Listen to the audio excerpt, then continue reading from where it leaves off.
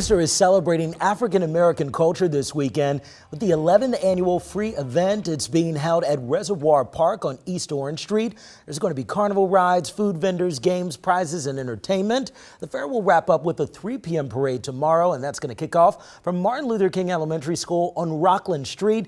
It will showcase 25 performers, including the Unstoppables drill team and drum squad, dance teams, marching units, and other groups from the region and as far as Connecticut.